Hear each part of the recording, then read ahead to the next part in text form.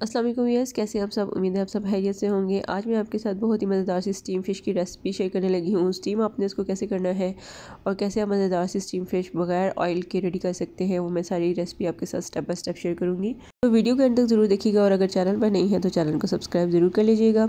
सबसे पहले आती है चिकन की फ़िश की मैरिनेशन की बारी। तो फ़िश मैंने यहाँ पर ली थी, अच्छे से मैंने इनको वॉश कर लिया था। उसके बाद मैंने ड्रेनर रैक में रख लिया था इसको ताकि अच्छे से ये ड्रेन हो जाए।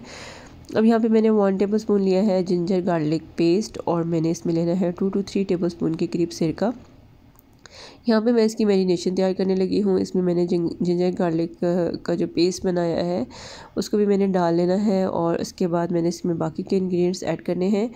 बहुत ही आसान सी ये फ़िश की रेसिपी है और आप इसको बगैर ऑयल में बना सकते हैं। यहाँ पे मैंने लिया जी नेशनल का फ़िश मसाला।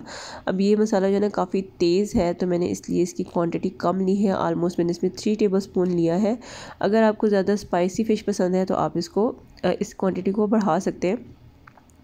इसके बाद मैंने फ़िश को इसमें ऐड किया है मतलब हाफ़ पैकेट के करीब ऑलमोस्ट मैंने इसमें डाल दिया था फ़िश मसाला।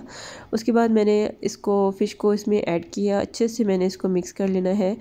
और सिरके की वजह से ना इसका एक पेस्ट टाइप का ना स्ट्रक्चर सा बन जाएगा। अच्छे से आपने इसको मिक्स करना है। अब मेरे दूसरे हाथ में मोबाइल पकड़ा हुआ था, इसलिए अच्छे से जो है ना मैं कैमरा थोड़ा सा फ्लिप कर है तो यहाँ पे देखिए अच्छे से इसकी मेरीनेशन हो चुकी थी, सब पीसेस के ऊपर अच्छे से ये मसाला लग चुका था और मेरे हाथों के साथ भी बड़ा अच्छा सा मसाला लग चुका है अब। तो इस तरह से आपने इसको मेरीनेट करके आपके पास अगर टाइम है तो आप इसको ओवरनाइट के लिए ज़रूर रख दें।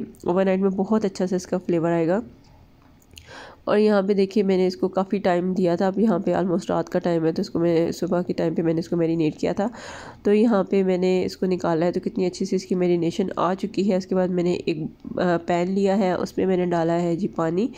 उसके ऊपर मैंने रखना है स्टेनर रैक अब स्टेनर के ऊपर आप जो है ना फॉइल पेपर भी लगा सकते हैं, इसके अलावा बटर पेपर भी लगा सकते हैं। मेरे पास दोनों चीज़ अवेलेबल नहीं थी तो मैंने इसमें पेपर यूज़ किया इसमें आपने थोड़े थोड़े से होल्स बना लेने ताकि स्टीम ऊपर आ जाए। बेसिकली ज़्यादा रिकमेंडेड है कि आप इसमें बटर पेपर लगाएँ। उसके बाद आपने फ़िश की फ़िश की स्किन वाली साइड है, उसको नीचे रख के इस तरह से इसकी लेयर कर लेनी है और इसको आपने सारा अच्छे से इसके ऊपर सेट कर लेना है। कोशिश करें कि ओवरलैप ज़्यादा ना हो और आपने इसको forty to forty five minutes के लिए इसको स्टीमर रैक पे रख लेना है। कुछ लोग फ्राई करके फिर भी स्टीम करते हैं, लेकिन जो बेसिक पर्पज़ है स्टीम का कि हम ऑयल फ्री फ़िश बनाएँ, वो फिर वह मकसद फोत हो जाता है वहाँ पे, क्योंकि अगर आप उसको फ्राई करें तो ऑयल ऑलरेडी इसमें चला गया तो फिर स्टीम करने का कोई फ़ायदा नहीं है। तो मैं इसको सिर्फ़ स्टीम मेथड से बना रही हूँ, बहुत ही मज़ेदार ये फ़िश बनी थी।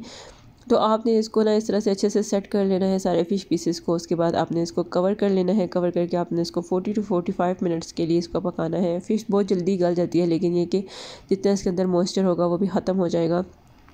और आपकी फ़िश बिल्कुल ड्राई, बहुत अच्छी सी रेडी होगी।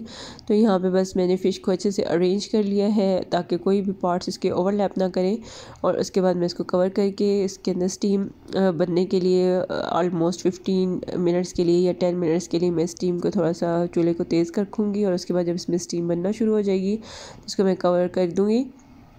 अब यहाँ पे मैंने चूल्हा क्योंकि ऑन कर दिया था तो आपको नज़र आ रहा होगा हल्का हल्का सा पानी गर्म होना शुरू हो गया, धुआँ आ रहा है। तो मैंने अब यहाँ पे इसको कवर कर दिया है। कवर करके मैंने इसको forty forty to forty five minutes दूँगी तो फ़िश बहुत अच्छी सी रेडी हो जाएगी। तो बहुत ही ईजी ये स्टीम फ़िश की रेसिपी है। आपने इसको स्लो फ्लेम पर पकाना है, इस तरह का फ्लेम आपने रखना है कि जब आप इसको स्टीम कर रहे हों और उसके बाद आपने इसको जब निकालेंगे तो बहुत अच्छी सी आपकी स्टीम फ़िश रेडी होगी। ज़रूर ट्राई कीजिएगा। Thank you so much for watching